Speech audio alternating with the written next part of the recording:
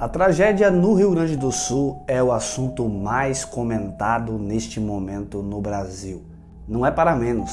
Estamos vendo pessoas que perderam suas casas, vivendo em abrigos, sofrendo pela falta de água, comida, remédio, coisas básicas para a sobrevivência. A discussão se estende bastante nos ramos políticos e ideológicos, mas há um ponto no meio de toda essa discussão que está chamando a atenção de pessoas que acreditam no mundo espiritual, na espiritualidade e também na paranormalidade, teorias de conspiração e até mesmo ufologia. Há quem diga que tudo o que está acontecendo agora no Rio Grande do Sul é fruto de uma interferência espiritual muito pesada. Alguns estão alegando que trabalhos de magia negra foram feitos para que essa tragédia acontecesse no Rio Grande do Sul por algum motivo.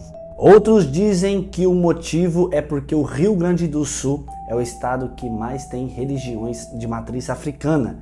E é o que estão dizendo.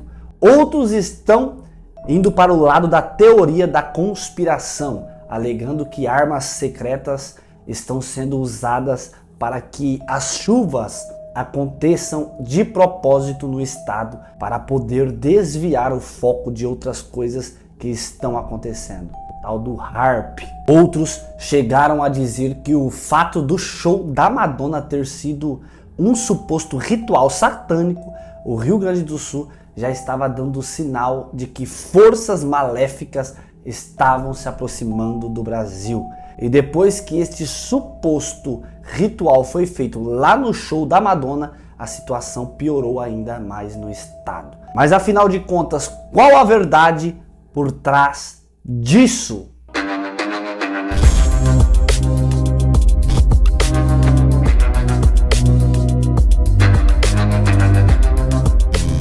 Meus queridos irmãos, mais um vídeo para todos vocês. É uma honra estar aqui junto com todos, fazendo este vídeo, trazendo mais esta informação a todos. E eu já queria te convidar, inscreva-se aqui no canal, certo? Ativando o sininho das notificações e deixe o joinha para esse vídeo. Amados, se você ainda não fez uma doação, se você ainda não contribuiu por não encontrar uma forma realmente confiável para ajudar ali as pessoas, as vítimas do Rio Grande do Sul, hoje a partir das 7 horas da noite eu estarei indo até aquele estado. Então eu convido a vocês a ajudar nós, certo? Estamos levando é, produtos de higiene pessoal, roupas íntimas e também produtos alimentícios. Então eu vou deixar o Pix aqui, certo? É o meu Pix, vai estar o meu nome, certo? Felipe Assunção Câncio. Então você faz o teu Pix aí, contribui, certo? E nós vamos ali suprir a necessidade de algumas famílias. É um amigo nosso, muito irmão, amigo demais nosso, que está com mais de 18 pessoas em sua casa, crianças sem fralda, pessoas que realmente estão precisando de ajuda. Então ajude nós nessa missão e tudo aquilo que entrar, toda contribuição, nós vamos fazer prestação de conta aqui no canal. Vamos filmar mostrando e também trazer aqui no, na aba comunidade do canal os comprovantes da onde foi investido o dinheiro, certo?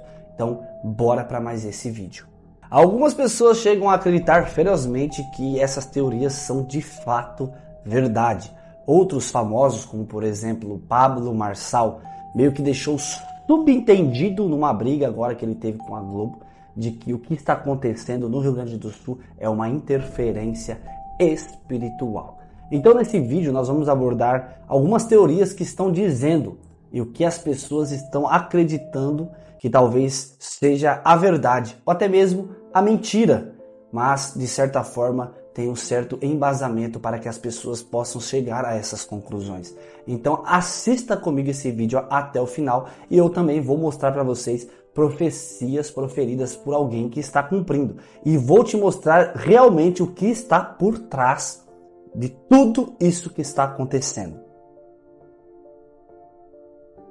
O Rio Grande do Sul está passando por tudo isso porque é um dos lugares do Brasil onde mais tem terreiros de umbanda, candomblé e magia negra e todo tipo de religião de matriz africana. Olha só, amados, para mim este argumento, essa teoria, ela já se auto-refuta pelo seguinte motivo. Apesar de dizerem que o Rio Grande do Sul tem muito mais terreiro do que a própria Bahia, isso já se refuta, porque se fôssemos analisar com o nosso ponto de vista ético, irmãos, a Bahia já deveria ter sumido do mapa há bastante tempo. Se esse fosse o motivo pela qual está acontecendo esta catástrofe ali no Rio Grande do Sul, com certeza a Bahia já era para ter sido dizimada, certo? A segunda teoria é o uso de armas climáticas secretas para manipular o clima e causar as chuvas intensas no estado. Isso se liga à teoria de conspiração globais que alegam a existência de tecnologia capazes de influenciar o clima, conhecidas como HARP, que supostamente teriam sido usadas ali.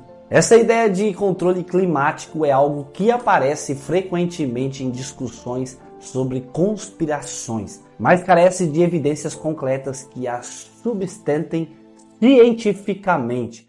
É importante, amados, nós questionar e buscar fontes confiáveis antes de acreditar e disseminar as informações. A terceira teoria ligada, amados, a tudo o que está acontecendo ali é o show da Madonna. Como um ritual satânico que teria exacerbado as forças negativas no Rio Grande do Sul. Isso também é muito discutido. Diversas pessoas estão acreditando nesta teoria. Esta é uma interpretação muito baseada em suposições pessoais e não em fatos. Eventos culturais grandes como shows são frequentemente alvo de interpretações diversas, mas conectar isso diretamente a desastres naturais isso é um salto lógico, sem base factual. Então nós devemos ficar atentos, não acreditar em tudo, em todas essas teorias que trazem aqui, que fazem com que pessoas acreditem. Vamos ver, amados, o que está realmente por trás de tudo isso. Uma profecia apregoada por Cristina Maranhão tem chocado muitos, pois esta pregação realmente aconteceu em pouco tempo. Então, bora ver esta pregação comigo agora, mas fique até o final deste vídeo que eu quero mostrar o que está por trás de tudo isso. A colheita de Deus, o Rio Grande do Sul vai ser muito grande. A colheita vai ser grande. Deus vai colher muitos. Para o fruto não se perder, Deus vai colher. E vou dizer uma coisa para vocês: se preparem, porque haverá surpresa para o estado do Rio Grande do Sul. Vou repetir, vou repetir e vou falar pausadamente. Se preparem, porque o estado do Rio Grande do Sul, eu estou falando nível de igreja também, vai ter surpresa e não vai demorar. Deus vai fazer um movimento, vai ter um movimento meio que estranho, ninguém vai entender nada vai surgir a notícia cá, por trás, pela frente. Vocês vão dizer: Deus falou, é questão de tempo. Deus já tem um cronograma, eu vou repetir. Deus já tem um cronograma, não só para o estado do Rio Grande do Sul, mas para o Brasil inteiro, para os 27 estados, porque precisa a igreja acordar. As devastadoras enchentes no Rio Grande do Sul têm levantado não apenas preocupações imediatas sobre ajuda e recuperação, mas também inspirado uma onda de especulações espirituais e teológicas. Em meio a essas tragédias, algumas vozes interpretam com os eventos como sinais apocalípticos, sugerindo que estamos nos aproximando nos tempos profetizados nas Escrituras. Este cenário pode ser visto como um chamado à reflexão sobre a nossa conduta e a urgência de nós melhorarmos na presença de Deus. Amados, realmente essa profecia se cumpriu. Tudo o que está acontecendo ali está na palavra de Deus. Está escrito assim na palavra: Olhai, vigiai e orai, pois não sabeis quando chegará o tempo. Está em Marcos capítulo 13, versículo 33. Este versículo nos lembra da necessidade de estar sempre preparados para o retorno de Jesus Cristo. Eu convido vocês a se juntarem a uma discussão vigorosa e possivelmente controversa. Estariam os recentes desastres do Rio Grande do Sul alinhados com as profecias bíblicas sobre o fim dos tempos? Comente aqui embaixo deste vídeo. Eu peço a você, compartilhe as suas perspectivas nos comentários. Ou seja, fala o teu ponto de vista a respeito disso. Eu, Felipe Câncio, acredito que o que está realmente por trás de tudo o que está acontecendo ali no Rio Grande do Sul é que a palavra de Deus tem que se cumprir. A palavra de Deus está se cumprindo. Então nós devemos sim se apegar com Deus. Nós devemos sim, amados, estar preparados como as virgens prudentes, carregando sim o azeite de Jesus Cristo dentro de nós, desviando do mal e buscando estar mais próximos de Deus. Então, isso sim está por trás de tudo que está acontecendo. É o início, é o princípio das dores. Então, se você está assistindo esse vídeo, abre os teus olhos e fiquem atento. Busque o reino de Deus. Busque aquilo que é do céu, porque aqui na terra realmente estamos chegando no fim dos tempos. Se você concorda comigo, deixe o teu comentário aqui embaixo. E isso, amados, não vai acontecer só ali no Rio Grande do Sul, vai acontecer em diversos lugares. Vai acontecer, como já tem profecias aqui, já tem profecias que isso também vai acontecer no Rio de Janeiro. Então nós devemos ficar atentos. Em Santa Catarina recentemente já aconteceu esse alagamento terrível.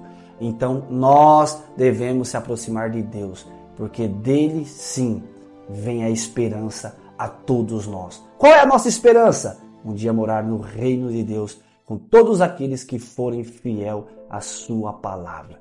Deus abençoe você que assistiu esse vídeo. Comente aqui embaixo a sua opinião. Não vamos acreditar em teorias sem bases sólidas, certo? Vamos acreditar naquilo que está nas escrituras sagradas, porque é algo verídico. Fiquem com Deus, inscreva-se no canal, faça a sua contribuição e até o próximo vídeo, se Deus quiser.